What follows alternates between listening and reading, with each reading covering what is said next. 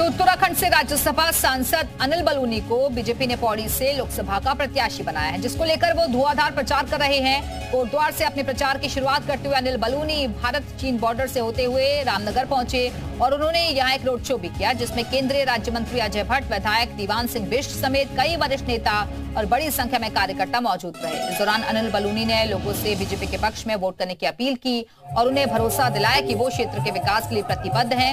इस दौरान अनिल बलूनी पूरी तरह से होली के रंग में रंगे नज़र आए।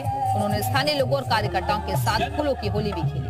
वहीं केंद्रीय राज्य मंत्री अजय भट्ट ने कहा कि अनिल बलूनी, जिस तरह से पौड़ी लोकसभा के लिए लगातार पिछले छह सालों से काम कर रहे हैं, ऐसे में पौड़ी की जनता उन्हें लोकसभा चुनाव में भारी मतों से विजयी बनाई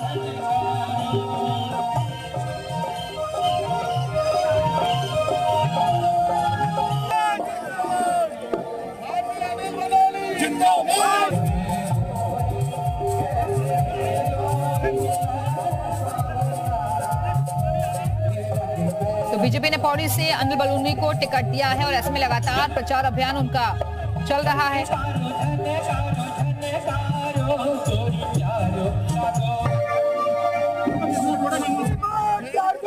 कोटद्वार से प्रचार करते हुए वो रामनगर पहुँची और जहाँ उनका भव्य स्वागत किया गया, इस दौरान उन्होंने जीत का दावा किया। तमाम स्थानीय नेता भी उनके साथ मौजूद रहे।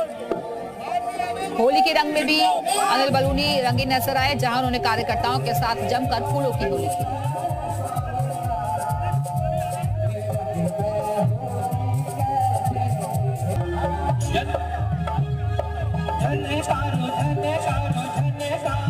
विकास के इस यज्ञ में शामिल होना चाहते हैं, वो भारतीय जनता पार्टी में शामिल हो रहे हैं। अब कांग्रेस में कोई कुछ समय तक बचेगा नहीं। हर किसी को समझ आ गया कि देश में लोगों को विकास चाहिए, लोगों को रोज़गार चाहिए, लोगों को देश को विकसित भारत बनाना है, उसके लिए सब चाहते हैं। तो कांग्रेस के लोग भी छोड़ छोड़ के आ रहे हैं।